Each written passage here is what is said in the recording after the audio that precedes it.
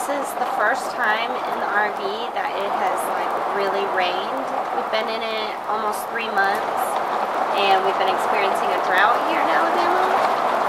I just put Chelsea down for a nap about 10 minutes ago and she's already asleep. And it is raining so hard. It is kind of scary.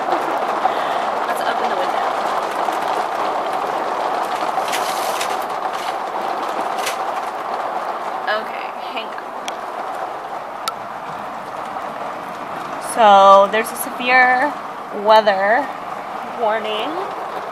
And sorry for the shakiness. As you can see, it is raining pretty hard and you can hear.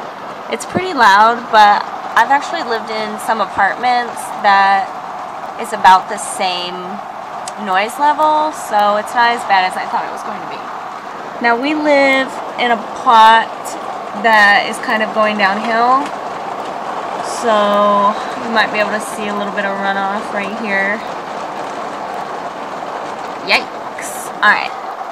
Here's my big giant closet mirror. Ugh. Now, like I talked about in my blog post of a short tour, here's the cap for the front of our, the RV, excuse me. And you can't really see too much of the rain right here. And this cap actually covers a lot of it. That's awesome. But you can see it's streaming down pretty good.